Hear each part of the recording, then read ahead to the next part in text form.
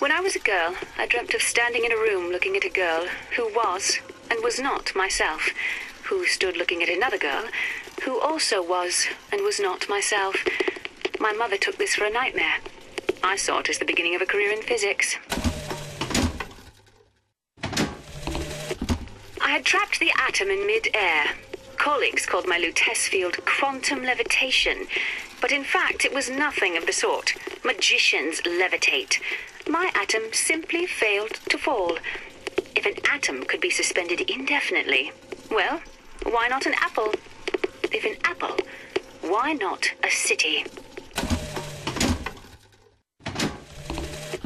Comstock seems to have been made sterile by simple exposure to our contraption. A theory. Just as sexual reproduction can de emphasize the traits of each parent, so goes the effect of multiple realities on our own. Your traits dissipate until they become unrecognizable or cease to exist. When I finally brought my brother through, he seemed to lack the capacity to square his own reality with this one. I suspected such a thing would happen, yet had no means to accommodate his distress. His behavior was that of the feeble minded. He hemorrhaged nearly continuously from his nose. Naturally, I was able to transfuse him from my own veins and thus avoid catastrophe. In the end, it was music that proved therapeutic and grounded his thoughts. A middle C vibrates at 262 hertz, no matter what the universe. The Lutece field entangled my quantum atom with waves of light, allowing for safe measurement. Sound familiar, brother? That's because you were measuring precisely the same atom from a neighboring world. We used the universe as a telegraph. Switching the field on or off became dots and dashes. Dreadfully slow. But now you and I could whisper through the wall. Brother, Comstock failed to understand is that our contraption is a window not into prophecy, but probability.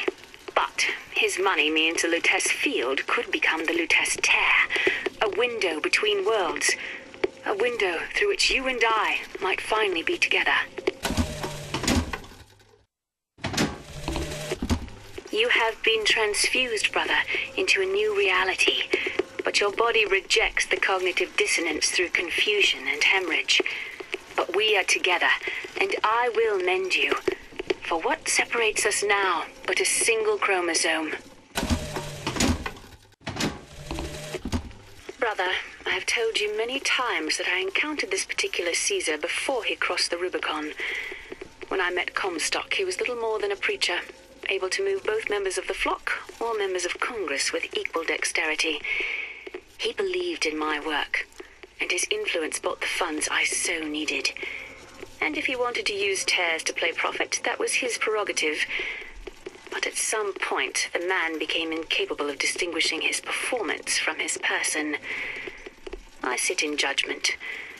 But then again, it was I who built the stage. Lady Comstock seems to believe the child is a result of some errant act of carnality between myself and her beloved prophet.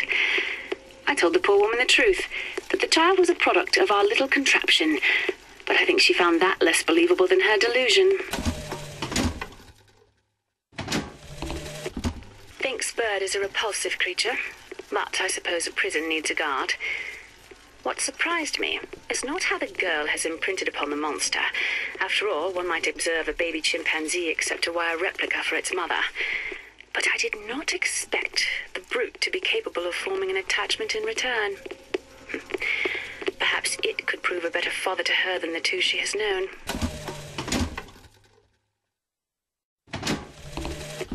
This evening, on my way back from supper, my theory became reality. A spontaneous tear had opened in the market district, emitting both sights and sounds. I observed what I could only imagine to be some future version of Columbia. Though familiar, strange red flags with a small yellow icon flew from her rooftops. Although we can lock up the girl, it appears her powers will not be imprisoned so easily. The prophet is dying. The metastasis has aged him so quickly. Why does this Comstock decay, while a Comstock in another world remains fit? If genetics are destiny, what accounts for the difference? Perhaps exposure to the contraption. Hmm. It merits further study. That ghastly Fink fellow has been busy of late. He has sent his minions out to prowl the city, on the lookout for tears wherever they might appear. They are armed with camera and voxophone. One could only presume he is no longer content to steal patents from his own reality. No surprise, then, his scientific breakthroughs. I imagine I could also appropriate parlor tricks like incinerating trees with the snap of my fingers. But the universe offers more delicious fish to fry. Our contraption shows us the girl is the flame that shall ignite the world. My brother says we must undo what we have done. But time is more an ocean than a river. Why try to bring in a tide that will only again go out? What makes the girl different? I suspect it has less to do with what she is, and rather more with what she is not. A small part of her remains from where she came. It would seem the universe does not like its peas mixed with its porridge. My brother has presented me with an ultimatum. If we do not send the girl back from where we brought her, he and I must part. Where he sees an empty page, I see King Lear. But he is my brother. So I shall play my part, knowing it shall all end in tears.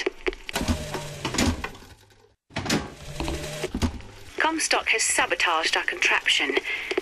Yet we are not dead. A theory. We are scattered amongst the possibility space. But my brother and I are together, and so I'm content. He is not. The business with the girl lies unresolved, but perhaps there is one who can finish it in our stead. Our current state of being, or lack thereof, has left my brother unfulfilled. The biological urge to leave one's mark is strong, and it is not an impossibility. We could instantiate ourselves back in Columbia, return to an old life for the possibility of creating new.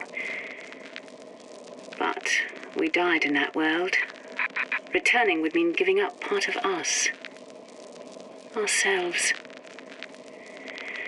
We'd become flesh and all that it is heir to.